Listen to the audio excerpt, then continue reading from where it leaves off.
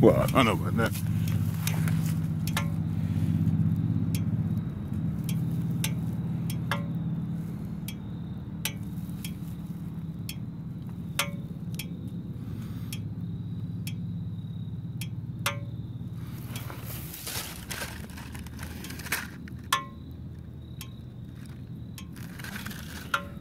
I might need to system.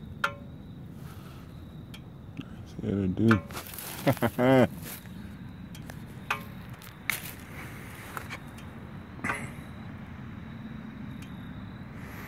One of my valves, uh, uh, yeah, uh, one of my exhaust valves are open.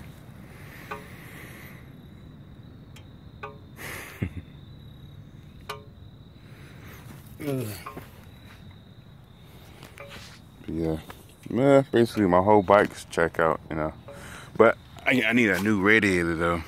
Um, I've been searching, searching around for a new radiator for a decent price. Then uh, I don't know. I think I got a uh, exhaust leak. Uh, most likely that's what I got. Cause sometimes it, it, it smokes randomly. So one one day I'm gonna uh, look at the.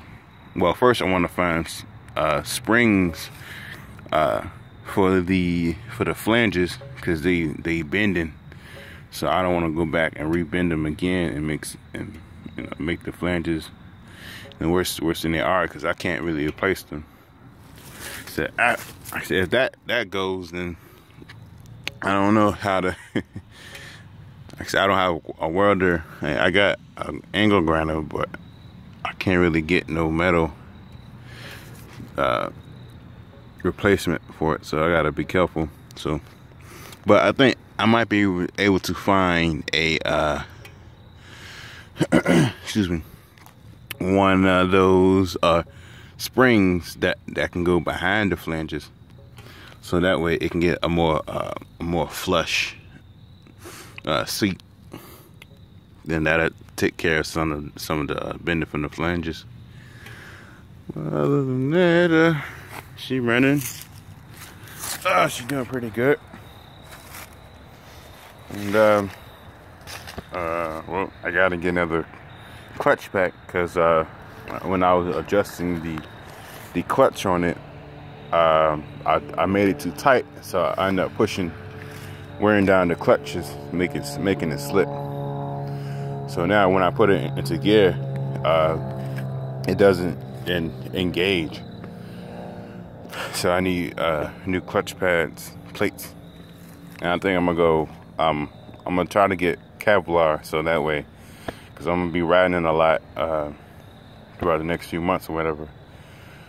So yeah other than that, then um, pretty good. Finally got my the lights the way I want them. You know, it was always too bright, but now I figure out a way to get them just right, just lit enough, just lit enough. Ooh, shoot. Sorry about that. Just lit enough so you can you can know I'm braking. You know, that's definitely for my safety. Cause so I already had had a wreck on this, you know, a couple months back. I definitely don't want another accident, like a real car accident with this thing.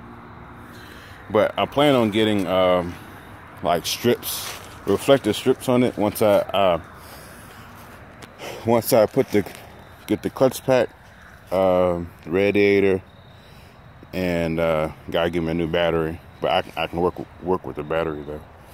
Other than that, uh, yeah.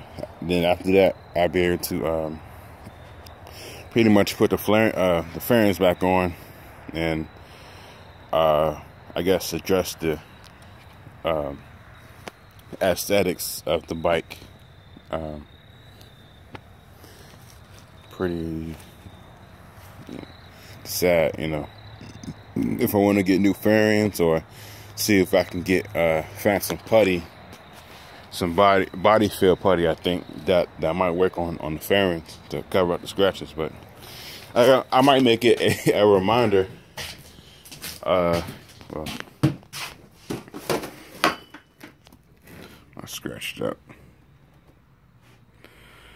Scratched up rear uh, rear fairing from the crash. Gas gas tank cover didn't do too bad. Um, yeah, I don't know if you can see that straight up. But yeah, pretty much. Uh, I oh yeah, yeah, that big one right there. Ooh. Yeah, pretty much. I can straighten it back out. Uh, fairings back out, you know, to make them make them decent again. But I gotta find the right putty and body filler, I guess.